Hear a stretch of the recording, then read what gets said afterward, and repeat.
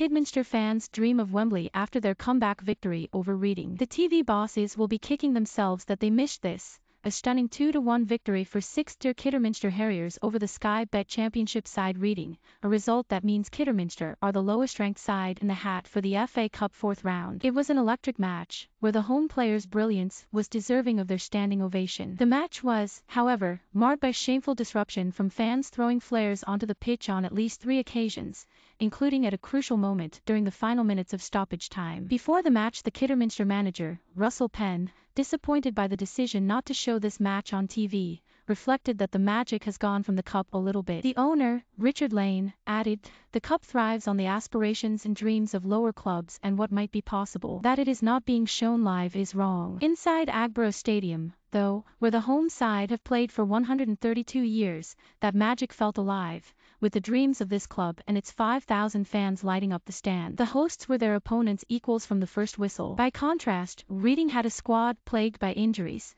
and made eight changes, which included six players aged 21 or younger. They made four substitutions before an hour had passed. The first chance came for Kidderminster, around the half-hour mark, when Ashley Hemmings and Omari Morgan-Smith saw decent attempts blocked. Seconds later, a 30-yard shot from Omari Sterling James was tipped over the crossbar by quick-witted work from the goalkeeper, Raphael. Reading appeared to sense, as the crowd buzzed with the same idea, that an upset may be brewing, and it was their star midfielder, Danny Drinkwater, back after a groin injury, who turned the tide. His efforts transformed the right flank into a danger zone, fueling Dejan Tetek to tee up George Puskas, who fired in Reading's first with a hint of fortune. With two deflating minutes added until halftime, Sterling James, who would prove the most lively of attackers on the pitch, once again fancied his chances, sending an acrobatic overhead kick sailing way over the crossbar. The belief of the home supporters never died, though, and they returned from the break to see Sterling James at his lively best. After 69 minutes the striker Sam Austin,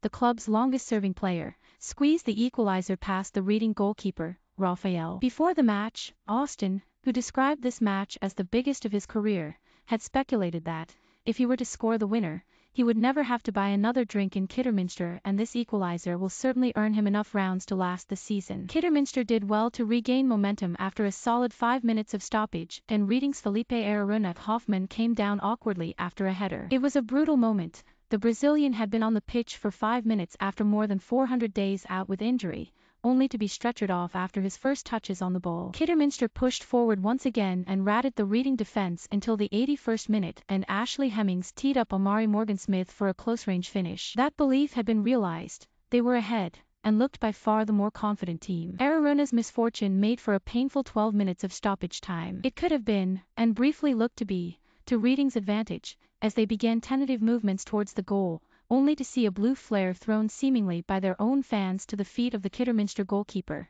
halting play once again and extinguishing any hopes of a comeback. As Kidderminster fans sang Wembley, the only words that could be heard from the reading stands were, this is embarrassing. Kidderminster Harriers, L. Simpson, A. Penny, N. Cameron, G. Badrami, C. Richards, K. Martin, M. Carrington, A. Hemmings, S. Austin, O. Sterling James, A. Morgan Smith, booked, Simpson. Reading, R. Cabral Barbosa, D. Tetek, T. Holmes, L. Holzman, E. Bristow, D. Drinkwater, C. Osorio, M. Kamara, T. Dele-Bashiru, Halilovic, G. Puskas. Booked Rhinamoda, Raphael, Holmes.